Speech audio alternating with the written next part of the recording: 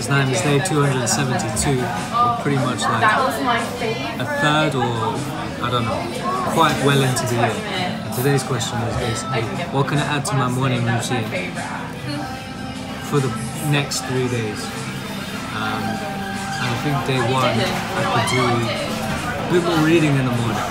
Uh, I used to, I used to do it. I used to do it morning, morning bit and night bit, but I've completely disintegrated that, so I'm gonna add that to my routine. Second, and I used to do this a bit more, but I've completely abandoned it as well, is actually taking care of my skin because, and as you can tell, I, I do, you know, this doesn't come from nothing. This, unlike the person behind the camera, I look after myself.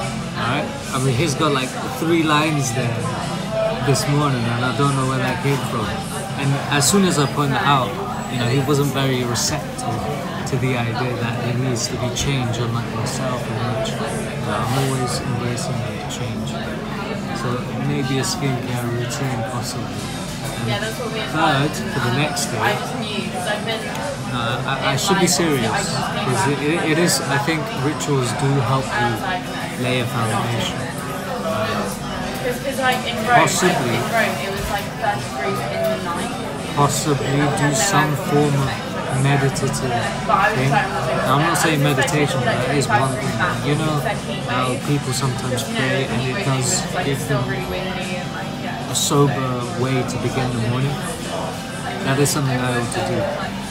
Because you just wake up and it's groggy and you're not like fully awake. And yeah, so th- those three things for those three days, if I remember the question correctly, Yeah. is something I can do. do. I was in bed by 2.30. I'll see you tomorrow, bye.